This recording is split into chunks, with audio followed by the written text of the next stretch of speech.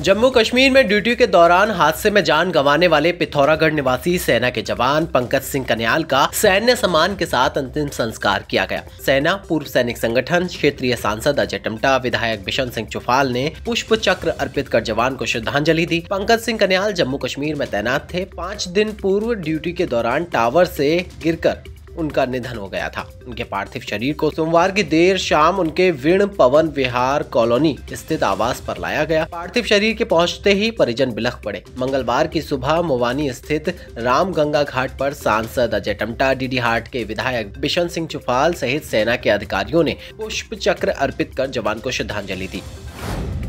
मुख्यमंत्री पुष्कर सिंह धामी ने नई टिहरी स्थित प्रताप इंटर कॉलेज बरौड़ी में आयोजित बेटी बवारियों को कौथिक कार्यक्रम में बतौर मुख्य अतिथि प्रतिभाग किया। इस अवसर पर मुख्यमंत्री ने 415 करोड़ की 160 योजनाओं का लोकार्पण एवं शिलान्यास भी किया।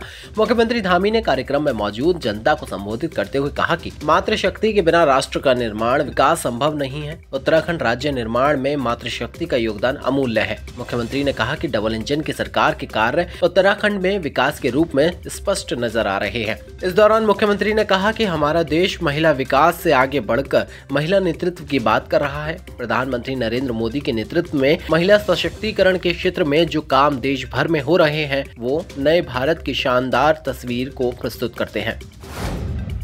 विकसित भारत संकल्प यात्रा का रथ मंगलवार को जनपद पिथौरागढ़ के विकास खंड, कनाली, छीना के राजकीय इंटर कॉलेज पहुँचा, जहाँ ग्रामीणों ने ढोल, दमुआ, सांस्कृतिक दल, छोलिया कलाकारों के साथ भव्य स्वागत किया। कार्यक्रम में बतौर मुख्य अतिथि सांसद अजय टमटा और डीडीहाट विधायक बिशन सिंह चौफाल ने प्रतिभाग किया।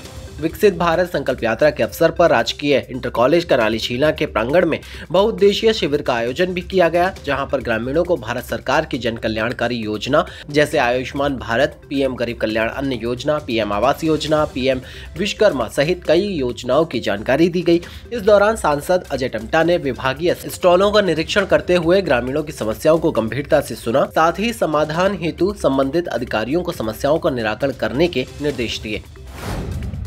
बीजेपी के वरिष्ठ नेता गणेश भंडारी को उपाध्यक्ष, लघु सिंचाई सलाहकार समिति दर्जा राज्य मंत्री बनाए जाने और प्रथम बार पिथौरागढ़ आगमन पर लोगों ने ढोल दमुए के साथ उनका भव्य स्वागत किया। जिला अध्यक्ष गिरीश जोशी के नेतृत्व में कार्यकर्ताओं ने सीएम पुष्कर सिंह धामी और गणेश भंडारी की जिंदाबाद के नारे लगाए। भंडारी के स्वागत में पूर्व विधायक चंद्रा पंत, पूर्व जिला पंचायत दीपिका बोरा, वीरेंद्र बोरा समेत समस्त बीजेपी कार्यकर्ता उपस्थित रहे। जाग उठा पहाड़ के संयोजक गोपू महर ने भी गणेश भंडारी को बधाई दी। वहीं टीम किशन भंडारी में भी खुशी की लहर दिखाई दी। किशन भंडारी और अमन फाउंडेशन के संस्थापक रंजीत खड़ायत ने भी गणेश भंडारी को बधाई और शुभकामनाएँ दी। हरिद्वार ज़िले के मंगलौर में ईंट भट्टे की दीवार गिरने से मंगलवार को छह लोगों की मौत हो गई। वहीं इस हादसे में दो लोग गंभीर रूप से घायल हो गए। इस मामले में हरिद्वार जिलाधिकारी ने मजिस्ट्रेट जाँच के आदेश दिए हैं। वहीं मुख्यमंत्री पुष्कर सिंह धामी की तरफ़ से दिवंगत श्रमिकों के आश्रितों को दो दो लाख रूपए आर्थिक सहायता देने की घोषणा की है। इसके साथ ही हरिद्वार जिलाधिकारी ने घटना स्थल का निरीक्षण भी किया। मौके पर पहुँचे हरिद्वार जिलाधिकारी धीरज सिंह गरवयाल ने बताया की संयुक्त मजिस्ट्रेट रुड़की को ईंट भट्टे की दीवार गिरने से हुई छह लोगों की मौत के मामले की जाँच के निर्देश दिए हैं। तो ये थे आज के फटाफट न्यूज़। ऐसी ताज़ा तरीन खबरों के लिए हमारे यूट्यूब चैनल के 24 न्यूज़ एंड एंटरटेनमेंट को सब्सक्राइब ज़रूर करें। साथ ही हमारे फेसबुक पेज के 24 न्यूज़ एंड एंटरटेनमेंट को फॉलो भी करें।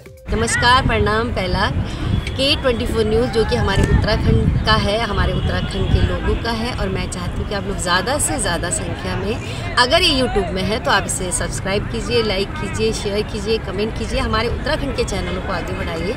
बहुत बहुत धन्यवाद।